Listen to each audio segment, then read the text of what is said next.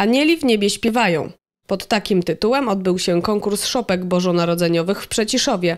W piątek 13 grudnia zostały wręczone nagrody autorom prac, które zajęły czołowe miejsca w swoich kategoriach wiekowych. Y, Spotykamy się tu po raz pierwszy. Y, Mamy przyjemność y, zwiedzić, zobaczyć, oglądnąć aż 94 prace dzieci przedszkoli, szkół podstawowych oraz gimnazjum. Konkurs został podzielony na cztery kategorie wiekowe.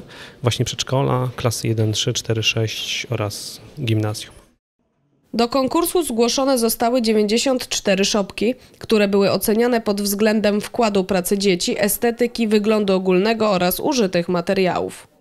Szopki przede wszystkim były y, robione y, jako, jako szopki trójwymiarowe. Y, Większość z nich oczywiście z drewna, ale z, prace wykonane z cukru, wykonane z ciasta, wykonane z materiałów z drewna, wykonane y, z, z liści, oczywiście y, sianko.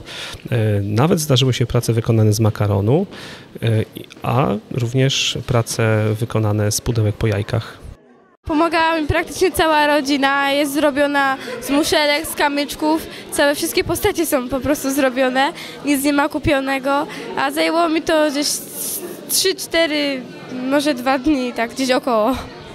Wszystkie prace można oglądać do 3 stycznia 2014 roku w Domu Kultury w Przeciszowie.